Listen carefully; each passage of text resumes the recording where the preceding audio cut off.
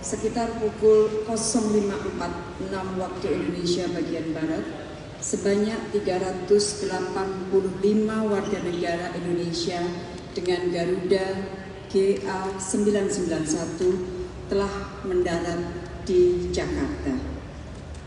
Mereka terdiri dari 248 perempuan, 137 laki-laki, dan di antara mereka terdapat 43 anak-anak. Ini adalah ketibaan tahap pertama ke tanah air WNI yang dievakuasi dari Sudan melalui Jeddah. Mengingat perjalanan evakuasi sangat panjang dan melelahkan, maka setiba di Jakarta mereka akan diinapkan sementara di asrama Pondok Gede uh, sebelum dipulangkan ke daerah masing-masing. Kemenko PMK dan KL terkait telah menyiapkan layanan mulai dari pemeriksaan kesehatan hingga layanan konseling. Kementerian Sosial, Kementerian Dalam Negeri dan Pemda terkait akan memfasilitasi kepulangan ke daerah masing-masing.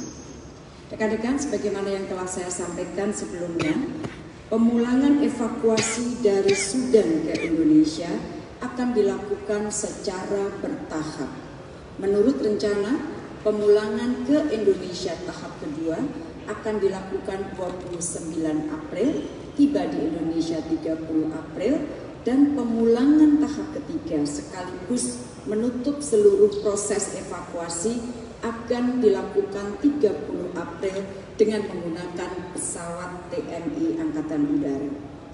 Per saat ini, tinggal 111 orang WNI yang masih berada di kota Port Sudan. Hari ini mereka akan diterbangkan ke Jeddah dengan pesawat TNI Angkatan Udara. Evakuasi kita kali ini dilakukan dengan menggunakan pola evakuasi secara estafet. Dimulai evakuasi jalan darat dari Khartoum ke Port Sudan, kemudian dari Port Sudan ke Jeddah, baik via laut maupun via udara, dan selanjutnya dipulangkan secara bertahap ke Indonesia.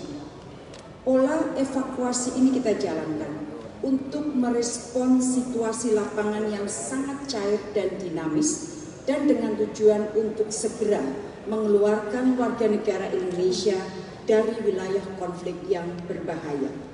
Alhamdulillah pola ini berjalan dengan lancar dan kita bahkan sempat membawa membantu beberapa warga negara asing dalam evakuasi kita. Rekan-rekan media yang saya hormati, setiap proses evakuasi memiliki karakter yang berbeda.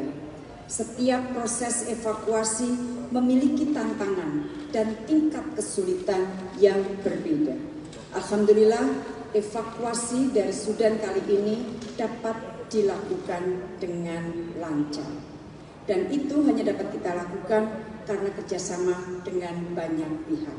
Oleh karena itu, pada kesempatan ini kami ingin mengucapkan terima kasih dan penghargaan setinggi-tingginya kepada Panglima TNI, Kemenko PMK, Kemensos, Kemenak, Kemenhub, Kemendagri, BNPB dan juga Pemda-Pemda terkait. Ucapan terima kasih dan penghargaan juga kami sampaikan kepada otoritas dan pihak-pihak lain di Sudan, pemerintah Arab Saudi, dan perwakilan RI di Khartoum, Riyadh, Jeddah, Kairo, dan Addis Ababa.